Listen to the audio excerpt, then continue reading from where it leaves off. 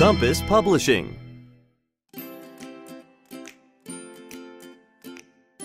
Hello teachers and hello students. Welcome to Compass Publishing's Reading Skill Go series. Now teachers, as a reminder, we want to make sure we have all of our templates, documents, and teacher's guides already prepared before the episode actually starts. You can find all of our downloadable materials in the link in the description box below. Now, are you guys ready to start our show? Reading, skill, go. A letter to Roberto.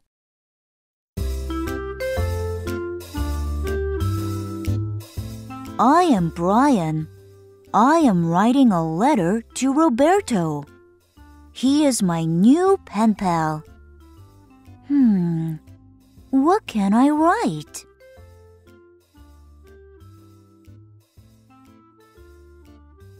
The date is first. Then I write a greeting. The body is next. I write my name. I write where I live.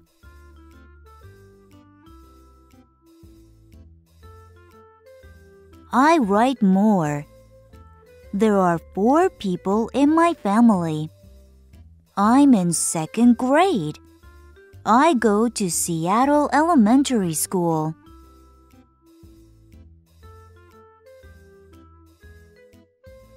I like to play sports. I am on the soccer team. Tell me about your city in Mexico. How many people are in your family?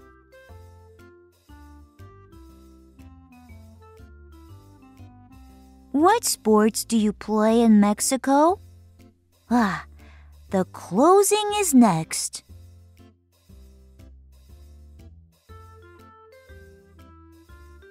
I put the letter in an envelope. I write our addresses. I put a stamp on the envelope and I close.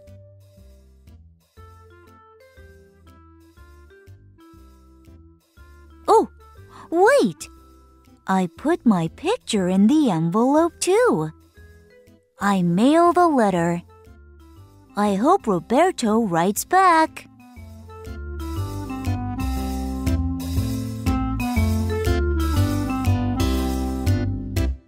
Now, wasn't that a wonderful, fun story we just read? Now that we've finished reading our story together in class, let's go ahead and talk about the skill we're going to learn for this story. Now, in this story, we know that our main character, Brian, is writing a letter to his pen pal, Roberto. Now, a pen pal is going to be someone, a friend, that you write letters to. They can live very, very close or they can live very, very far away. Before we actually learn how to write a letter, let's go ahead and learn the vocabulary words for this story. Now, there are four vocabulary words that were part of the story. The first word was date.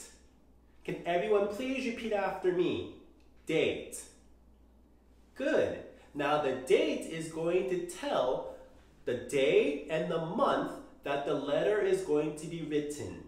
Now, you can also add the year if you want. Now remember students, this is the first part of a letter is the date. The second vocabulary word is going to be greeting. Everyone please repeat after me. Greeting. Now in the greeting, this is going to be the opening part of the letter. This is where we say to our friend, hello. You can use many different words for the greeting. You can use dear, hello, or even hi. Now remember, this is going to be the opening part of our letter. The third vocabulary word we learned today is body. Everyone please repeat after me. Body. Now in the body of a letter, this is the main part of the letter itself.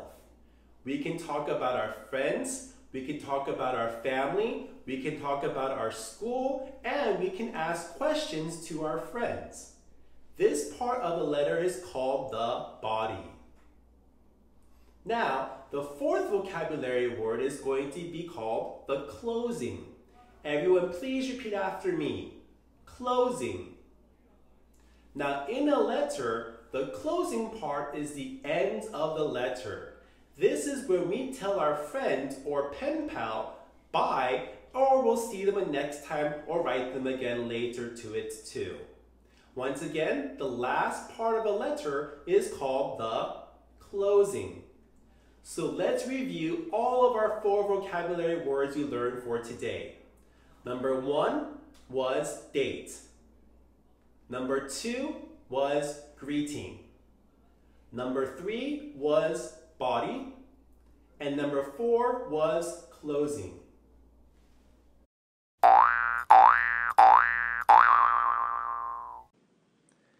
Now that we've learned our vocabulary words, let's see if you can answer a few questions.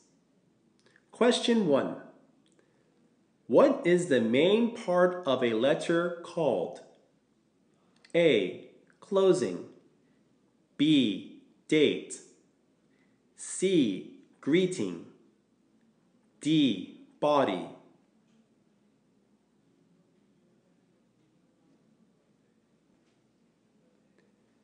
Number two. What is the ending part of a letter called? A. Closing B. Date C. Greeting D. Body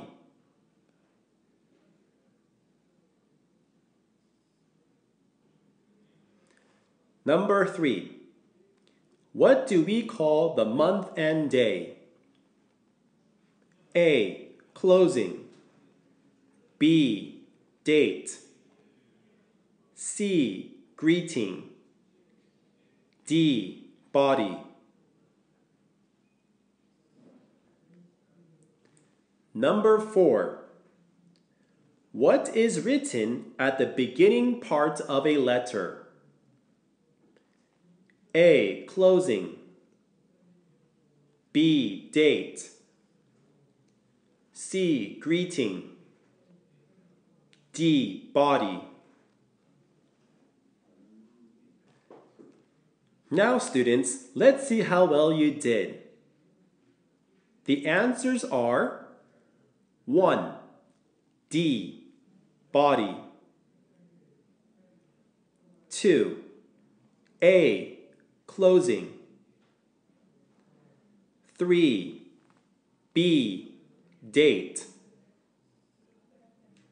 4. C. Greeting. Excellent job, students. Now that we've read our story together and we've learned and practiced all of our vocabulary words, it's now your turn to write your own letter. Now think very hard about who you want to write your letter to. Now teachers, at this time, please make sure that every student receives a template of our letter provided for you in our downloadable sections. If you have any questions, please refer to our teacher's guide. For additional tips and strategies, you can refer to our Your Turn and Question Bank sections. Now don't forget to utilize our Share Time section too by allowing all of your students to share the letters in class together. Well, students and teachers, thank you for your time. I had a great time with you, and I hope you had a good time too. We'll see you next time.